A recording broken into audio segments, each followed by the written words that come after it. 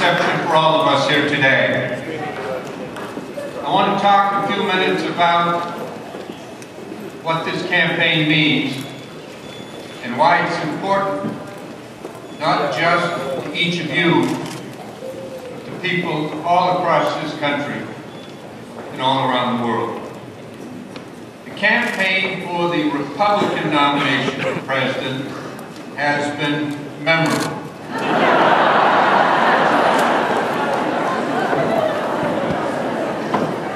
For its negative tone, for the vast gap between its content and the reality of life for most Americans, and for its many misstatements. But in, but in one respect, in one respect, the Republican candidates are accurate and they're in agreement, and that's on the importance of the election of 2012. It comes at a turning point for our country and for the world. If the United States is to effectively meet the challenges and seize the opportunities of the 21st century, it is critical that Barack Obama be reelected as president.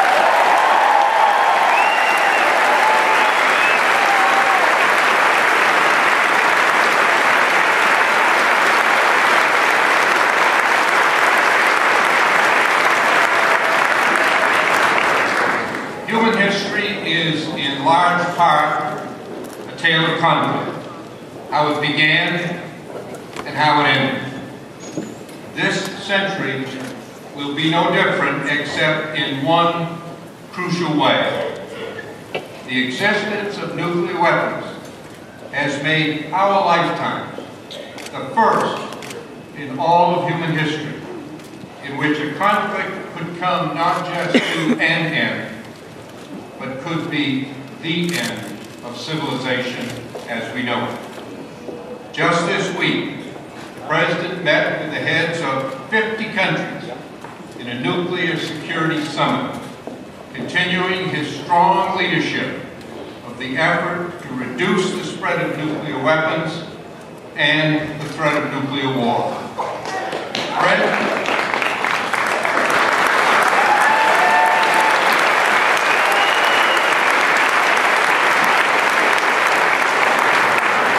President of the United States is the leader of our country. He also is the Commander-in-Chief of the best and most powerful military force ever assembled. His words, let's hear it for our men and women.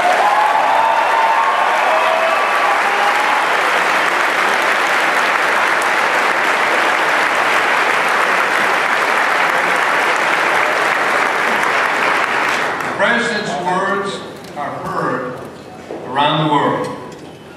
His actions affect the lives of people on every continent. In the nuclear age, the President of the United States must be strong and steady, measured in his policies and in his words, true in the course he sets for our country, and reliable in getting us there. That describes Barack Obama. It does not describe any of the other candidates.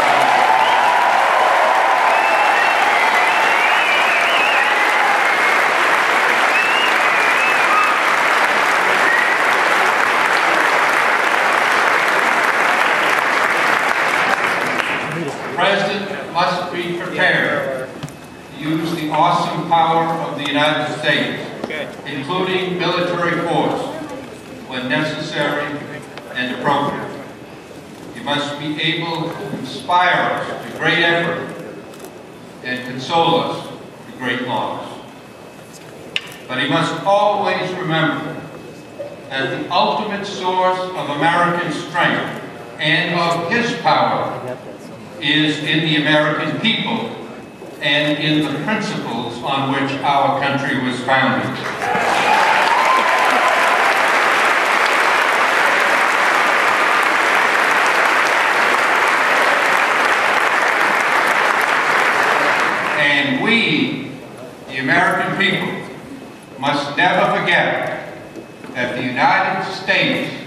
was a great nation long before it was a great military or economic power.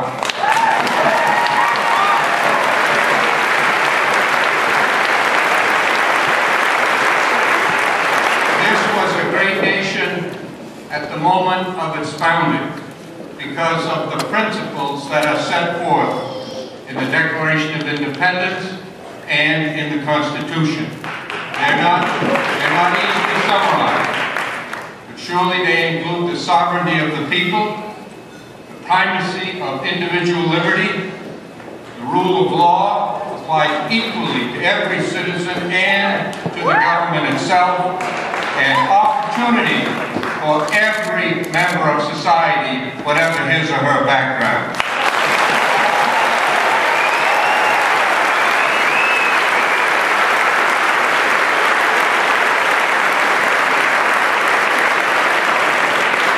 Barack Obama is imperfect, as are all human beings. He's made mistakes, as we all do. But in his life, he has epitomized these American principles.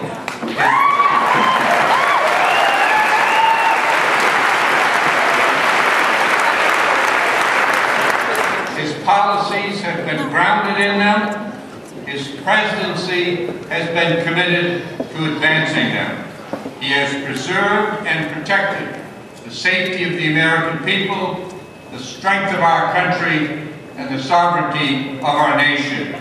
He has earned our confidence and our support, and he should be reelected as president.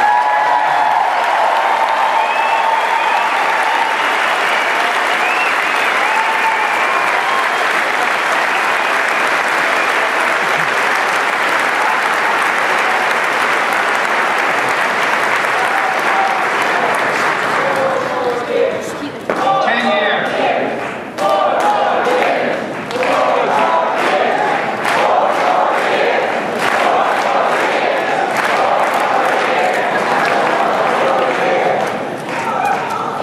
For ten years, for ten long years, Republicans talked tough about Osama bin Laden. Barack Obama said little, but then he had him killed.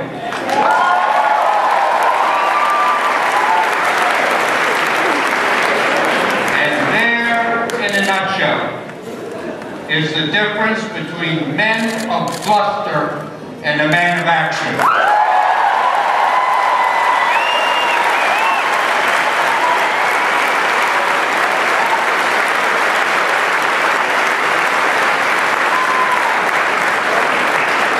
President Obama ended the long and costly conflict in Iraq. He repaired and rebuilt critical alliances around the world, many of which have begun to fracture and to fall into disrepair.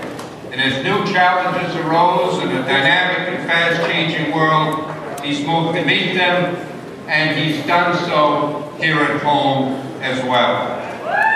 Two months, two months before Barack Obama was elected president and four months before he took office, the American economy teetered on the brink of collapse.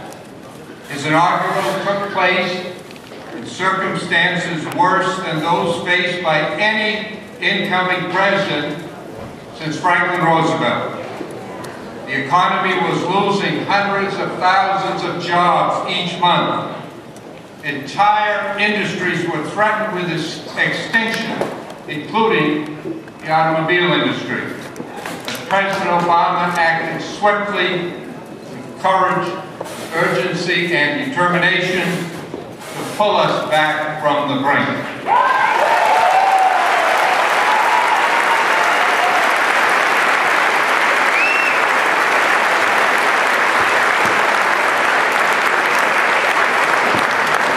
The job losses have stopped. Slowly but steadily, the economy is growing again and jobs are increasing. Yes, there is a long way to go. But in November, the American people will have a clear choice. To continue the policies of the President, which are steadily restoring our economic and financial health, or go back to the very policies which caused the problem in the first place.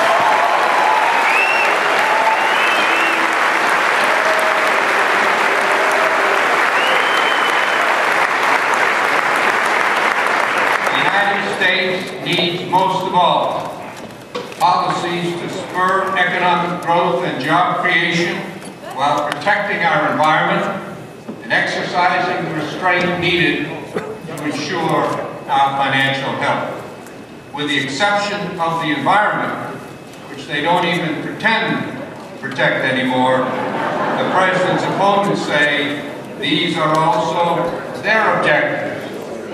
The problem is that the policies they advocate will have the opposite effect. And if they're unwilling to learn from the past, the American people should not join them. They are in support of President Obama.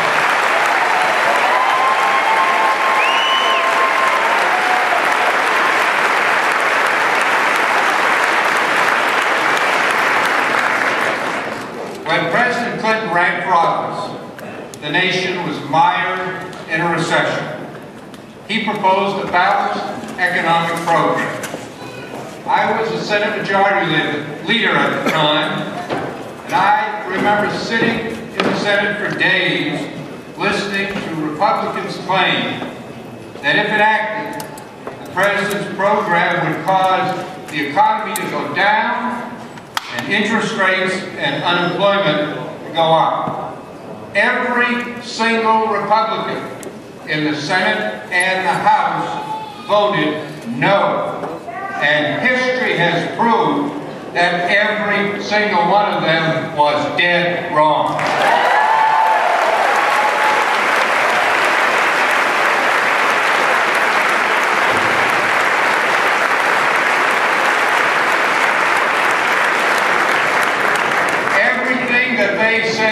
go down went up.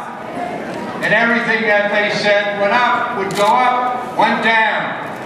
So when President Clinton's successor took office after his program was enacted, that president inherited a growing economy and a federal budget surplus, which is the exact opposite of what President Obama faced when he took office after eight intervening years of Republican rule.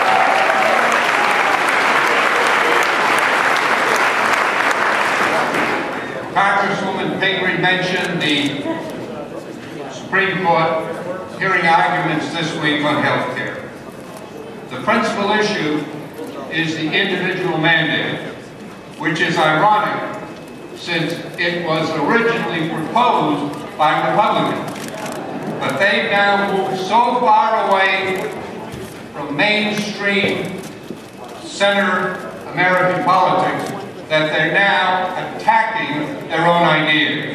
The Supreme Court should stay out of politics, make a logical constitution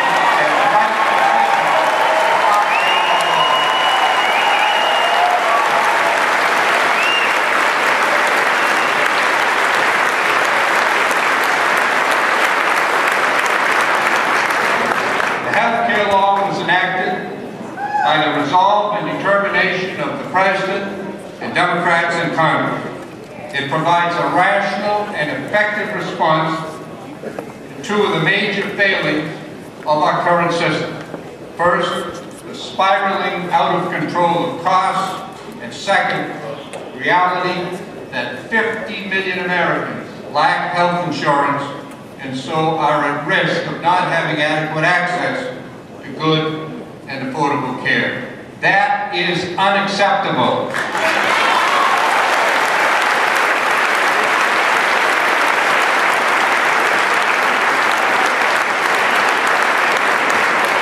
It should be changed, and it will be changed by the health care law.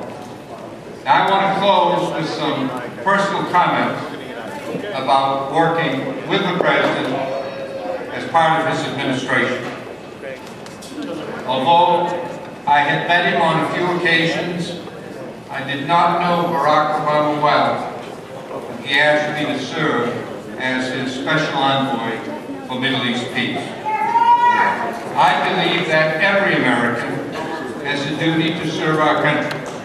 So I'm frank to say that I would have accepted whoever the president was. But once in office, I was deeply impressed by President Obama's knowledge of the issues, the reasonableness of his approach, the fierceness of his personal determination. We didn't get a peace agreement in the Middle East, but it wasn't for his lack of trying. And in the dwindling time in which an agreement remains possible, President Obama's re-election offers the best and perhaps the only hope that it can be achieved.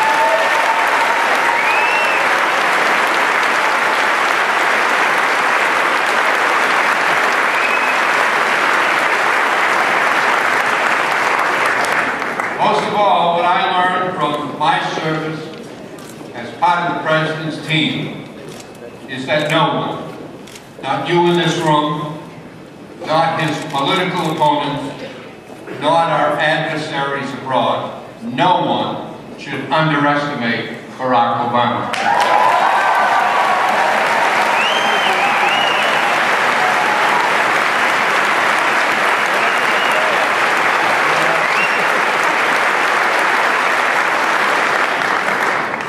He's smart, he's tough, he's prepared, he understands the best of American ideals and principles, and he acts on them and within them. And he deserves to be reelected President of the United States.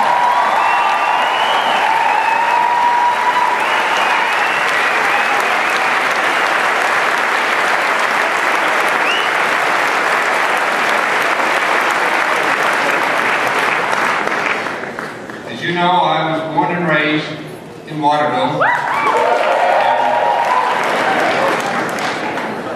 Let's hear it for Waterville.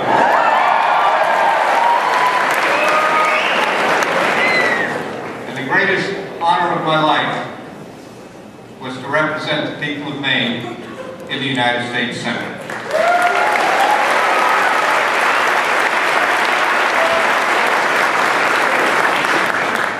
Many of you here today are my friends, and I will forever be grateful for your support. My daughter and grandson live here in South Portland, and he's here today. And so I close, I want to close with a personal appeal. For his sake, for the sake of children and grandchildren across the United States and around the world, I urge you do all you can join me in re-electing Barack Obama as President